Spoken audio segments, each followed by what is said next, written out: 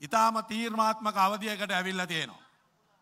ඒ තීරණාත්මක අවධිය තමයි අපි මේ රටේ විශාල නැගිටීමක් එක්ක මෙරටේ හැට නම ලක්ෂයක් චන්දගත්ත ඒ පාලකයව පලවා හැරලා අපි සියලු දෙනාම තව මාස කීපයකින් ජනාධිපති මැතිවරණයක් අපි බලාපොරොත්තුවෙන් ඉන්නේ.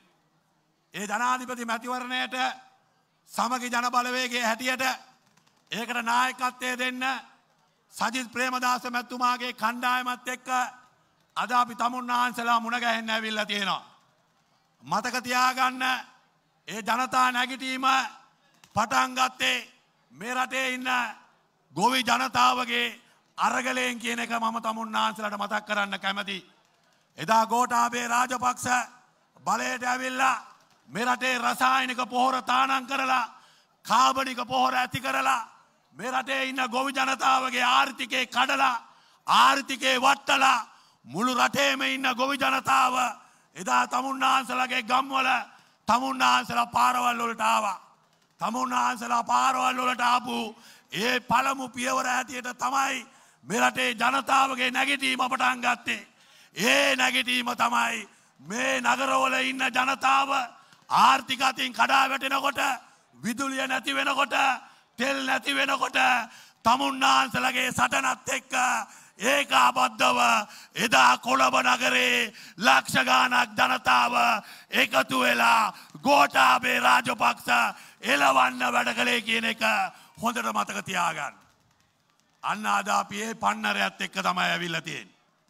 එහින්දා එදා ගෝටාබේ රාජපක්ෂ එලවන්න මේ රටේ ඉන්න ගොවි ජනතාව තමුන් වහන්සලා තමයි ඒක නායකත්වය අරගෙන වැඩ කළේ.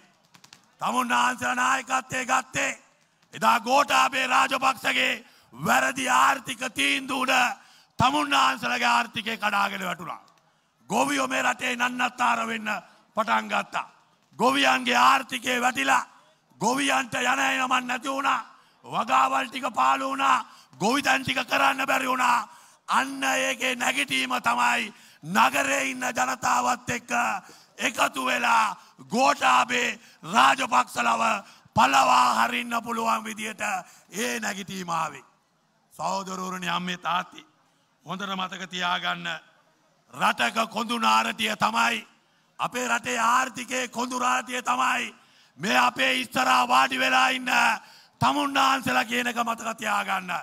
මෙරටේ ආර්ථිකයේ කොඳුනාරටිය තමයි ගොවි ජනතාව. එමනං ගොවීන්ගේ අවශ්‍යතාවයන් ගොවින්ට ඕමනා දේවල් ගොවින්ට තාක්ෂණය සහනටික පොහොරටික බිත්තරටික ඒවා ලබාදීම තුළ ගොවියගේ ආර්ථිකය ශක්තිමත් කිරීම තුළ තමයි රටේ ආර්ථිකය ගොඩනගන්න පුළුවන්. ඒක තමයි යථාර්ථය.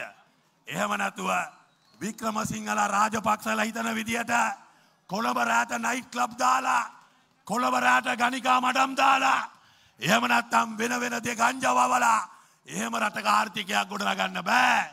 රටක ආර්ථිකය ගොඩනගන්න නන් මෙරටේ ඉන්න ගොවි ජනතාවව ශක්තිමත් කරන්න ඕනේ. ඒ ශක්තිමත් කරන්න පුළුවන් වැඩ පිළිවල සජිත් ප්‍රේමදාස මැතිතුමත් එක්ක තියෙනවයි කියන එක අපි තමුන්නාසලට මතක් කරන්න කැමති. දැහෙම වැඩ සටානක් රනිල් වික්‍රමසිංහ මාත්‍යයට තියෙනවද. එහෙම වැඩ සටානක් එයාට නෑ. එයාට එහෙම වැඩ සටානක් නැතිහින්ද තමයි රාජපක්ෂලා අදයාව තමුන්නා ඒගොල්ලන්ගේ නායකයා කරගෙන ඉන්නේ. එහෙම වැඩසටානක් නැතිහින්ද තමයි අදේගොල්ලංව එයාගේ නායක ඇටියට පත් කරගෙන ඉන්නේ. ඒහින්ද හොදර මතක තියාගන්න සෞදරවරණේ.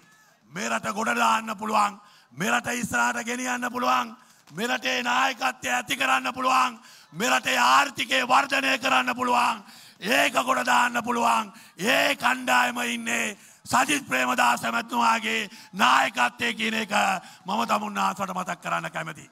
ඒ ඉද සෞදරවරණි සමාරු හිතාගෙන ඉන්නවා ජනතාව මුක්ති පෙරමුණත් එක්ක ගීල මේ වැඩේ කරන්න පුළුවන් කියලා.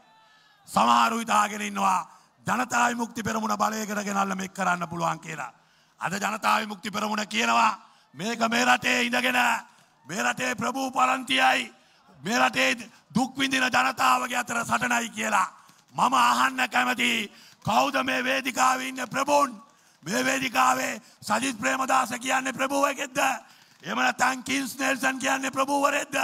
එහෙම නැත්නම් ලක්ෂම්න කිරියල්ල කියන්නේ ප්‍රභූවරයෙක්ද? අපි ඇවිල්ලා ප්‍රභූ පැලැන්තියෙන් ආපු අයද? නෑ. අපි සාමාන්‍ය පවුල් වලින් ආපු අය. මට වඩා මට වඩා අනුර කුමාර අඳින සේට්ට එයා අඳින ඇඳුම් වල අපිට වඩා එයා අඳින ඇඳුම් වල වටිනාකමක් තියෙනවා. ඒ හින්දා සහෝදරවරනි ලෑස්ති වෙන්න. මේ වෙනස කරන්න. ඒ වෙනස කරන්න පුළුවන්. මෙරට ඉස්සරහට ගෙන යන්න පුළුවන්. දුස්තියක් තියෙන ජාත්‍යන්තර විශ්වාසය දිනාගන්න පුළුවන්.